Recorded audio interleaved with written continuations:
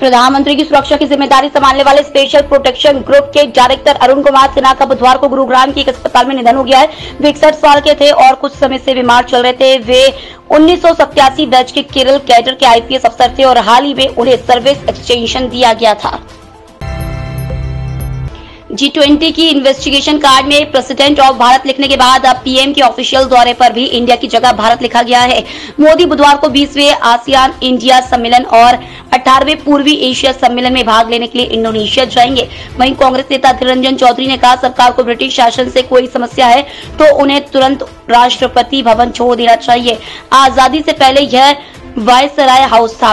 North block और south block को त्याग दे, सब भारत बना दो। सब खाली करा दो और ज़रूरत पड़े तो उसे गोले से उड़ा दो। कांग्रेस नेता राहुल गांधी मंगलवार देर रात यूरोप दौरे के लिए रवाना हुए। वो 6 सितंबर से 10 सितंबर तक चार यूरोपीय देशों, फ्रांस, बेल्जियम, नीदरलैंड्स और नॉर्वे की यात्रा करेंगे। इस दौरान राहुल गांधी यूरोपियन यूनियन के मेंबर्स और भारतीय समुदाय के लोगों और यूनिवर्सिटी स्टूडेंट्स के साथ बातचीत करेंगे।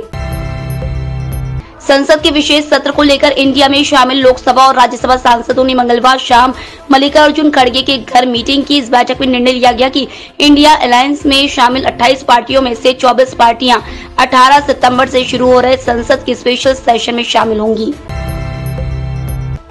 आज यानी बुधवार को शेयर बाज़ार की फ्लैट शुरुआत हुई। सेंसेक्स 36 अंक की गिरावट के साथ पैंसठ हज़ार सात सौ चौवालीस के स्तर पर ओपन हुआ। वहीं निफ्टी में सात अंकों की तेज़ी देखने को मिली या उन्नीस हज़ार पाँच सौ इक्यासी के स्तर पर खुला।